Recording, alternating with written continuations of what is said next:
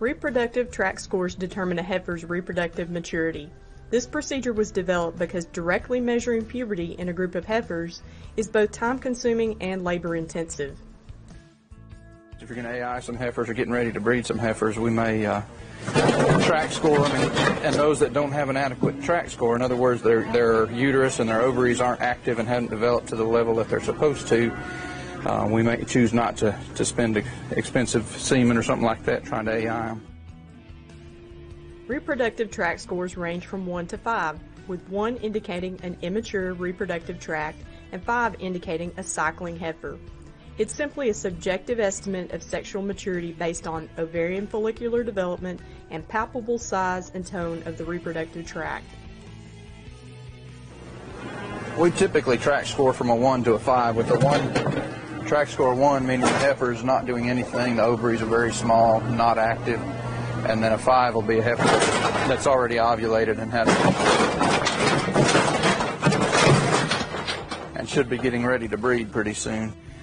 What we find too is you can't just look at the heifers superficially and say, you know, the big heifers are further along in their program, whereas the uh, the uh, smaller heifers are not. Sometimes the the smaller heifers will reach puberty just as early or earlier than the bigger ones. So size is, is not a reliable indicator of heifer being ready to breed always. She's going to be a five. She's got good ovaries, her tract is very firm and large and uh, feels good, so she's got good tone. She'll have a good score. She's going to be a tract score of five. She actually has a fairly small tract, and uh, both ovaries are fairly small, so she's going to have a low, what we call tract score, and not be very good for uh, for breeding yet. She's going to need some more development time. If estrus synchronization is not going to be used, Consider culling heifers with a reproductive tract score less than 3, especially if the genetic value of these heifers is marginal. If estrus will be synchronized using MGA or a controlled intravaginal drug release device or CIDR, a tract score of 2 may be acceptable. It is critical to use an experienced, reliable technician for reproductive tract scoring. The measurement is usually taken at the same time pelvic area is assessed. Both reproductive tract scores and pelvic area measurements should be taken prior to breeding.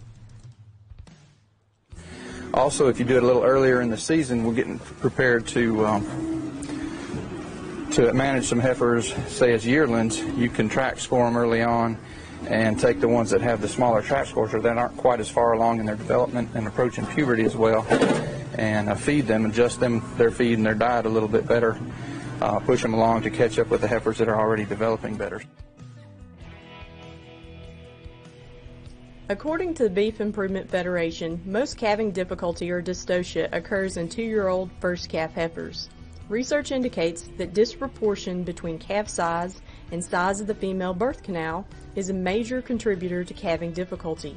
As a result, producers may use yearling pelvic measurements as a culling tool to reduce the potential incidence and severity of calving difficulty among first calf heifers in their herds. Pelvic area measurements are simply a measurement of the size of the birth canal. They are used to relate the size of a heifer and her pelvic area to the potential size of an easily deliverable calf. Yearling pelvic measurement should be taken between 320 and 410 days of age and before breeding. Estimated pelvic area is the product of the vertical and horizontal measurements. So you take the vertical measurement and multiply it by the horizontal measurement to come up with the pelvic area. We're also going to measure the pelvis using a Rice pelvimeter, and we can show you this here in a little bit. But it's um, it's a device used to measure the size of the pelvis and kind of help us predict if we might have um, calving issues. Uh, these smaller, some folks choose to, to cull a lower percentage, the ones that have the smallest pelvises. Some just use it as a management technique, um, depending on your herd, and uh, maybe wait a little longer to breed a heifer with a small pelvis, or um, like say cull them, or uh, give them a little more time. She's going to be about uh, 15 centimeters tall by about 12 wide, so 15 by 12 on her. This is a rice pelvimeter, and um, it's got a scale on this back side. So as you squeeze it down, I can show you. As you squeeze as you squeeze it inside the pelvis, you can kind of get an idea that we can measure.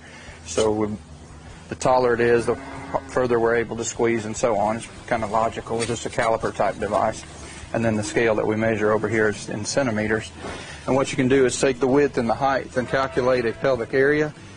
You can actually, using a formula, get a, a calculate a rough idea of how large, what weight calf that this, this heifer or this cow would be able to, to give birth to. So kind of help you predict dystocia. One of the problems you'll find is some farmers, when we first started doing this, would just cull the bottom end are the ones with the smaller pelvises, and what that ultimately leads to is just picking for larger larger cattle. So you have to take into into account not just the size of the pelvis, but the size of the pelvis in relation to the heifer. To, to avoid just picking for bigger and bigger frame cows, because obviously a you know a huge cow is going to have a bigger pelvis than a little one. So got to be sure and calculate, take those calculations into into account as well. To determine the size of an easily deliverable calf, divide the pelvic area measurement by the ratio as determined from the chart that appears here that uses age and weight of the heifer. For example, a 900 pound yearling heifer with a pelvic area of 170 square centimeters should be able to deliver a 71 pound calf without assistance. The other thing we'll do while we're measuring pelvises is try to uh, take into account shape. So one that's really tall but narrow is a cow that's going to give you some trouble, or, or the converse, if one's really wide and short, um, that can be some trouble as well.